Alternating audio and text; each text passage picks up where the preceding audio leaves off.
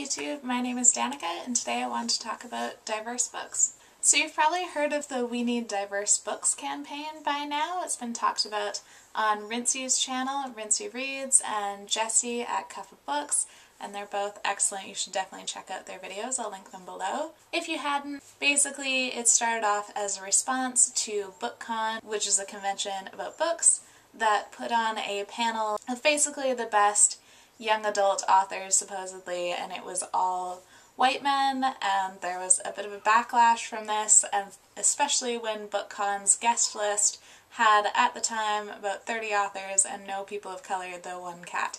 So in response there's the Diversify Your Shelves and We Need Diverse Books campaign which talks about why we need diverse books and encourages you to go out and buy diverse books and support people who are writing diverse books. So even though I'm a little bit late to the game, I wanted to make a video about diversifying your reads and specifically about intersectionally diverse books. So intersectional is a word that in this context means different identities that intersect. So being a black woman means that you experience racism and sexism, but it's not just a matter of adding together the experiences of racism and sexism. They're a different experience together and how they intersect affects that experience. So I wanted to talk about some books that are diverse and that they talk about intersecting identities. Specifically, obviously I read a lot of lesbian books, but I'm trying to diversify that by reading more people of color, including people of color who are writing lesbian books. So I wanted to talk about some of my favorite people of color lesbian books as well as some that I'm looking forward to reading. I definitely want to commit to reading more people of color, especially in the next year. I know that's six months from now, but I do better with set time periods. So I'm actually thinking that in 2015 I'm going to be trying to read all people of color and see how that goes. But ideally, I think I would like to have kind of a 50-50 ratio, which I do definitely do not have now. I want to talk about some people of color lesbian books because I found myself kind of hiding behind this idea of, oh well, I read lesbian books and that's already a smaller proportion of books and isn't that already diverse? But that's really a terrible excuse and I know it was a terrible excuse because there are tons of great books out there that are talking about intersecting identities, that are talking about being a person of color and queer and disabled and all different kinds of combinations of things. So these are some books that are by or about queer women of color that I really enjoyed. So the first author I want to talk about, really obvious just to get it out of the way, because I've already been talking about her a lot, and that's Malinda Lo. I've been raving about adaptation and inheritance duology. It is fantastic. It's teen sci-fi that's influenced by the X-Files. It's really fast-paced. It's queer. It also has a diverse group of characters. The main character is white and bisexual, but one of her love interests is Chinese, and her best friend is a black gay guy who is obsessed with conspiracy theories and just in all it has a diverse cast and it's also by a queer woman of color. Obviously, I love this book, definitely pick it up. Malinda Lo has also written Huntress and Ash, which are more fairy tale books that are also influenced by Chinese mythology. Ash is a bisexual Cinderella retelling it is very good. I still liked adaptation better, but it depends on your interests. If you like fairy tale retellings, definitely try Ash and then Huntress if you liked that. They're set in the same world, but they don't have the same characters. So Malinda Lo is definitely an author I would recommend. When We Were Outlaws by Jeanne Cordova. This is a story about a lesbian activist in the 70s who's also Latina and it's just a fantastic read. It's such an interesting community happening in this book. So it's very personal in some ways. It's about her different romances, but it's also about these really big political ideas. So this one I really loved and I would recommend. Next we have Miss Timmins School for Girls by Nayana Currimbhoy. This is a really interesting almost a mystery, it's kind of a murder mystery, that's about a teacher at a boarding school and her trying to figure out what happened when one of the students dies. It's set in the 1970s in India and the main character has two different love interests, one a man and one a woman, and they're both very interesting. It has such a great mystery feel. It feels very tense and atmospheric. You can really feel the heat in the monsoon season. I read this last year during the 24 hour readathon and it was such a great story to just be immersed in. Next we have another memoir and I just have to point out that I didn't notice that this memoir is subtitled A Memoir of Love and Revolution and this one is subtitled A Memoir of Love and Revolution so apparently I like memoirs about love and revolution. But this one is Before the Rain. And this is in the 80s. It's also a Latina writer. And she is a reporter and lots of this book is spent traveling around the world and is also about this very intense love affair she has.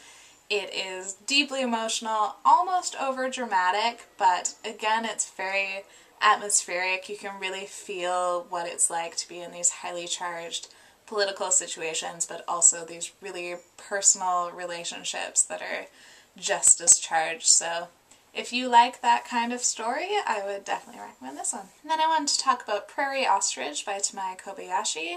This is a young adult book. It's actually about an eight-year-old kid, but it's also just as much about her older sister who's having this lesbian relationship.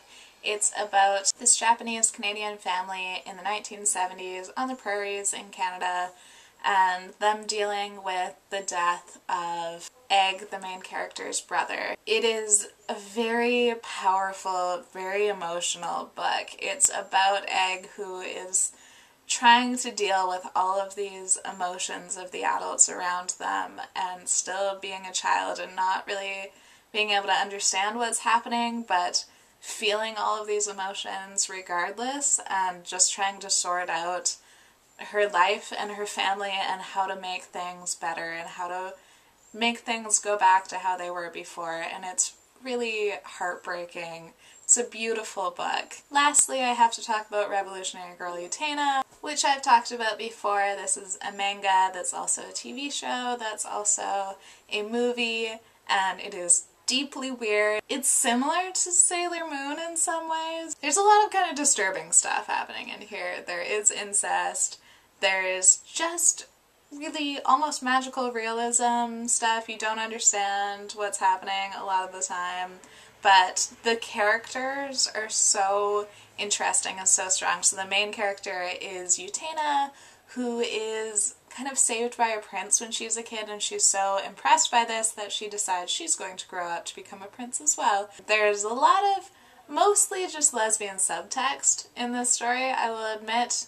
In some incarnations it's less sub and more text. But it's such an interesting story. There's so much going on here and it's filled with so much symbolism and metaphor that no matter how many times you watch the show or read the manga, you're going to get more out of it each time. I think this might be the media series that I have found the most interesting to discuss, that I can pull the most out of.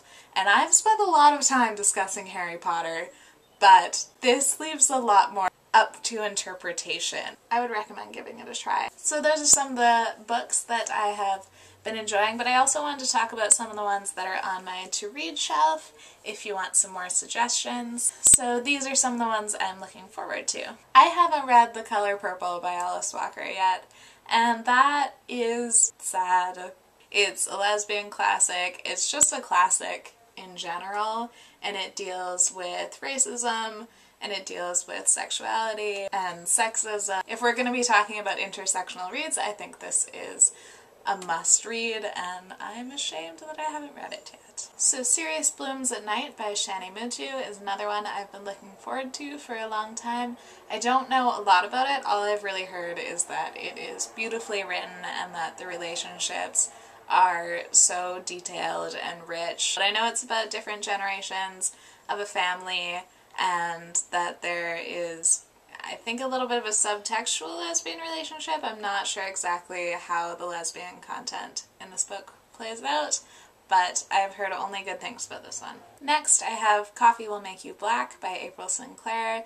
This is about growing up black in New York in the 70s and then finding out that she is lesbian. This one's supposed to be funny but also very powerful and interesting, so forward to that one too.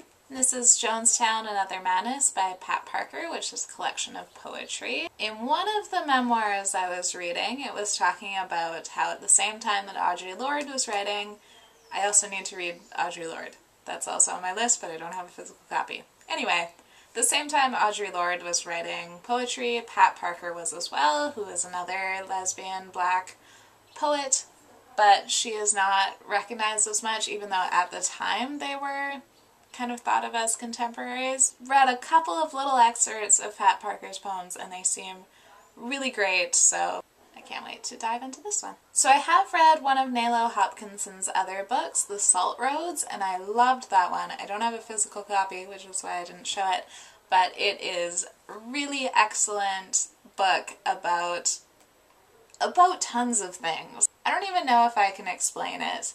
It is kind of about the spirit that inhabits different bodies. It's about slavery. A lot of it is about racism and there's also lots of queer characters.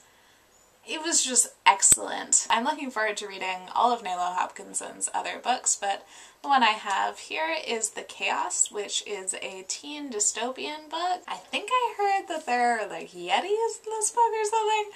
I might be wrong, and that it'll seem like a really weird thing to say about a book. I love teen dystopian books, and I already love Nalo Hopkinson's writing, so this one is definitely going to be a good one. Then we have The World Unseen by Shamim Sarif. I have watched the movie version of one of her other books, I Can't Think Straight, and she both wrote the book and directed the movie, so I think it is probably pretty faithful to the book. And I loved that movie. It's one of my favorite lesbian movies, so I'm just as excited to read this book. It's kind of a lesbian romance set in 1950s South Africa, so it should definitely be an interesting read. Next we have We Came All the Way from Cuba So You Could Dress Like This, which is a collection of short stories by Achy Obejas.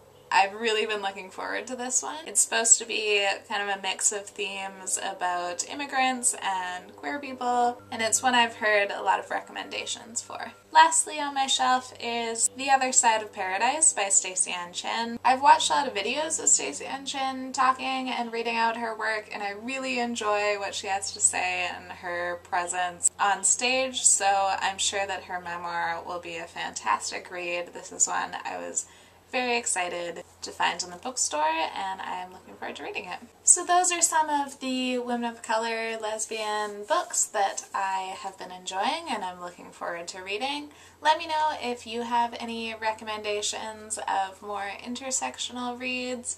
I think all of us can diversify our shelves. I think we all need more diverse books. And I think a lot of the diverse books campaign has been about people being able to find themselves in books, which I completely agree with, and that's why lesbian books are my passion. But I think it's equally important to find other people in books. When we read, we enter other people's lives, and it gives us an opportunity to walk around in their shoes to see how people think from the inside which I don't think you get to the same extent with different media, though that's also important. But I think part of the reason that we all need to read more diverse books is to experience other people's lives and to encourage more empathy for other people. As much as it is great to read about people like you that you can relate to, we also need to be able to relate to a large number of people. So I think it's just as important to branch out and try to find people who don't think like you and who don't look like you and who don't act like you because then you can recognize what you have in common and also recognize that people aren't all the same. That should be a really basic thing, but I think that we can all still use that. So I'm going to be making it a point, especially in the year to come, to be reading more diverse books and I hope that people will be joining me in that. So thank you for watching this video. Bye!